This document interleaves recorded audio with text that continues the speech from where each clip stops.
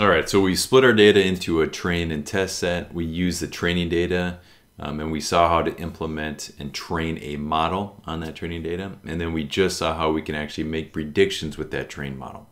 So let's talk about model evaluation.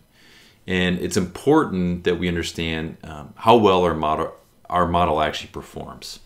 And with supervised learning models, um, we measure this, this idea of performance or model performance um, by understanding how accurate it is in making predictions, right? And this idea of prediction accuracy all comes down to the difference between the predicted value that our model provides versus the actual value of the data collected, right? And we call these different, um, or we can measure the difference between the predicted value and the actual values um, with different types of metrics, or what we call loss functions.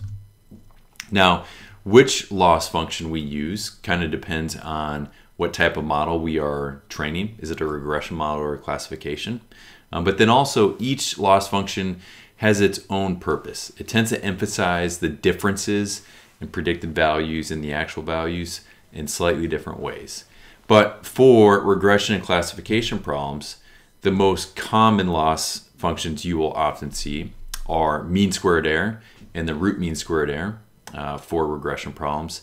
And then the classification accuracy uh, for a classification model. And then also um, these things that we call recall and specificity. Um, and so with the classification model, we can actually take the predicted output versus the actual output. We can create what's called a confusion matrix. And it kind of looks like this. And we're going to see one in a little bit. Um, but with that, what we can do is we can actually measure when our model predicts something is going to happen, but it doesn't actually happen, right? Uh, and we call that a, a false positive. Um, or we could also look at when our model predicts that something is not going to happen, but in reality it did happen, right? So then that would be a false negative. And so this idea of recall versus specificity, um, it just emphasizes different parts of this confusion matrix depending on what we're looking for. So we'll look at one in just a, se uh, a second. Hopefully that'll kind of simplify um, uh, what I'm talking about here. Uh, so first, let's talk about this idea of mean squared error um, and root mean squared error, which is uh, the most common metric within regression. Um, so the idea is, here's some code, and all we're doing is we're taking our linear regression model and we made our predictions on our test set.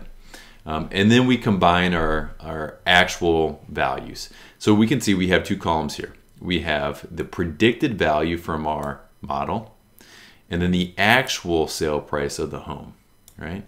So here, when we look at this mean squared error metric that is very common, all we're doing is this, this yi minus y hat i, right? So this just says, what is the difference between the actual and the predicted value, right? So we could take a look at the predicted value and the actual, and the difference is um, a negative 7,400. That just means that the predicted value uh, was actually predicted um, a higher sale price than the actual, and it over predicted by close to $7,500, right? So that's this component right here, right? Then what we can do is we can actually square that, that value, which is what we do here. So this squared value here is just this value squared. And the idea of that is twofold. One, it takes um, our, you know, basically negative differences and our positive differences, and it's going to put them all into a common unit, right? All positive values. Um, by squaring that, um, it, it eliminates this idea of that some underpredicts and some overpredicts. It just says that they all mispredict by some amount. Uh, but it also is going to emphasize when we miss uh, more than when we miss less, right? So you think about a squared value. Um, when you square a larger value than a smaller value, right, it's going to have a substantially larger result than the smaller value being squared, right? And the same thing is, is happening here. So we are penalizing large misvalues more than we are penalizing small misvalues or small differences. All right, so once we have these differences, um, squared differences, which is this part of this metric, then the next thing is we just sum them all up and we divide them by the number of observations. And that would give us some value. Now, typically that value doesn't make a lot of sense initially, but when we take the square root, right, the root mean square is just this MSE, and we take the square root of that, that will then bring the value down into the units of measure of our response variable, right? So what that looks like is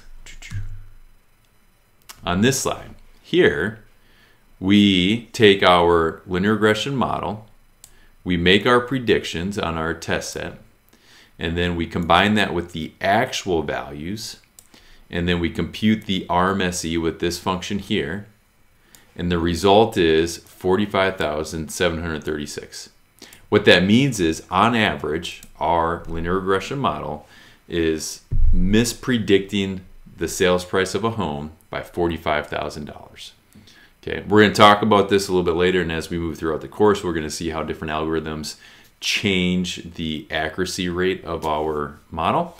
Um, but for right now, the root mean squared error, that the, the, the squared root of that metric is simply taking the value and bringing it down to the same measure as the target variable. All right, so that's for regression problems. Mean squared error and root mean squared error are pretty much always the metric or the most common metrics we will see. And that's what we'll see throughout this course. Now for classification, we usually have the classification accuracy, right? So that just means in a binary response, um, how many times do we predict accurately versus mispredicting um, accurately. And so we see here in our model, our classifier model that we trained on logistic regression, uh, we see that our accuracy rate is 0.876. That means um, we have about an 88% accuracy rate with our model.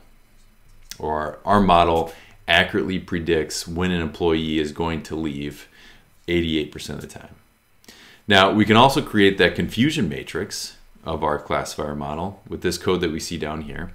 And now we see we have our predictions made by our model. So that's in this, uh, the uh, y-axis here, or the vertical here, like the no's and the yeses.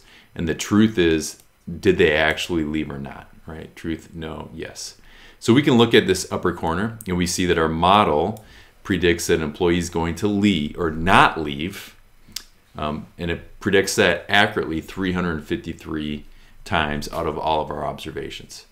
Now our model, if we look at the lower right hand corner here, our model predicts that an employee is going to leave when in fact they do leave. So that's an accurate prediction of an employee attriting. Um, that's they, our model does it 34 times. Now we have these other diagonals, and this just means our model here, the 17 says, our model predicts that an employee is going to leave when in fact they did not 17 times in our um, test set. Now, in this upper right-hand corner, we see that our model is predicting an employee is not going to return or not going to attrit or leave um, when in fact they did. And it did that 38 times out of our test set, right? So now we can kind of see basically the fact that when our model is mispredicting, it typically mispredicts that an employee is not going to leave when in fact they are going to.